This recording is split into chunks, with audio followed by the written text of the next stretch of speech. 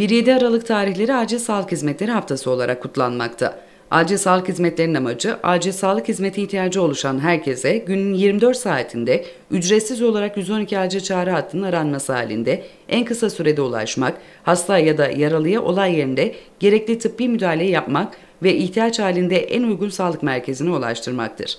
1-7 Aralık Acil Sağlık Hizmetleri Haftası sebebiyle de Eskişehir 112 İl Ambulans Servisi Başhekimi Doktor Veli Görkem Pala ve çalışanlardan oluşan heyet Eskişehir Valisi Erol Ayıldız ve İl Sağlık Müdürü Profesör Doktor Uğur Bilge'yi ziyaret ettiler.